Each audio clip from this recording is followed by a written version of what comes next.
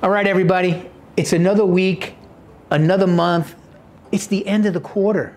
I can't believe we just gone through 90 days of 2023. It surprised the heck out of Jennifer and I. Um, we'll finish out the quarter with 22 sales. We've got two or three still in the hopper right now that we think we might be able to close within the next day or two.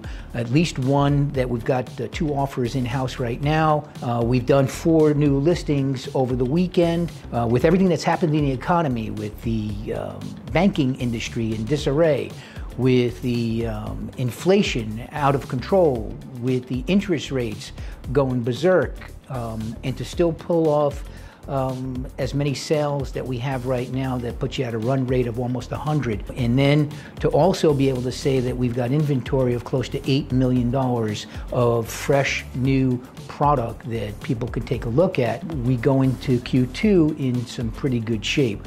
What that means, how that shapes up for Q2, 3, and 4, we really don't know.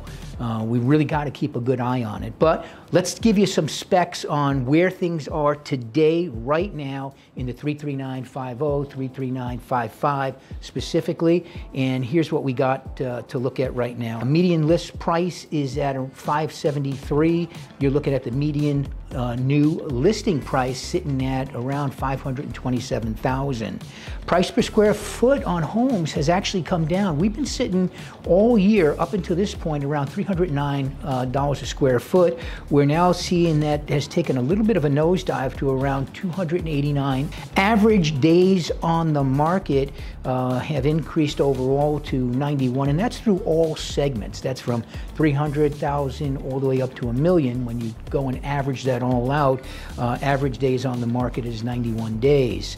Uh, if you look at the median days on the market, you're looking at around 53. Now, that doesn't include fresh inventory that comes on the market. We are seeing that fresh inventory that comes on the market, we're seeing that 7 to 17 day. If you got a good product that's fresh and fairly priced, that's moving pretty good. We're seeing products that we're putting on the market sell in about five days. The uh, most recent one that we have offers on right now five days on the market. We've got offers. One that we put on last week was on the market five days we've got it sold and we've got a contract on it. So um, those that's what's happening on fresh new inventory. That's also happening uh, at the national level as well. Uh, one of the things uh, we are still seeing a fairly high rate of uh, price decreasing out there. Uh, right now, we're seeing about 48% of the inventory still being discounted to try to meet the needs of the buyers that are left in the marketplace um, and, and try to get there. So that means that there's still a lot of old inventory out there trying to get down to a price range that people are looking to buy. Um, we are seeing uh, a lot of property, or some property, I should say, not a lot, uh, 11% to be exact, um, in our zip code areas uh, being relisted. Um, uh, inventory is climbing and you know, we're an anomaly. Our little uh, microcosm here in Punta Gorda is not representative of the national scene. The national scene inventory continues to no dive. Um, so we've got less inventory at the national level, yet where our inventory is now starting to gain. I'll give you a great example. Uh, Burnt Store Marina, which did not have much inventory four, five, six weeks ago, is now sitting up at 44, 45 pieces of inventory out there. That's like old levels. Uh, so um, inventory is moving um, out there. And, and right now, this week, we've got a trend of a lot more inventory hitting the marketplace. So that's actually good news. We need that inventory. We need that choice for customers uh, out in the marketplace.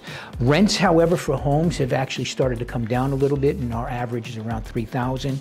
Market action, as far of it, we just are barely in that seller's range. So that's something to take into uh, consideration.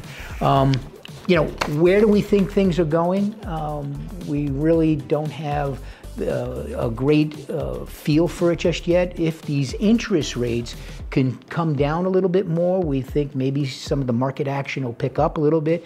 But I got to be honest with you, we are still not getting many, if any, on our end. Jennifer is not bringing buyers to the table that are financing deals. Uh, our deals, every one of them right now, are still cash deals. So.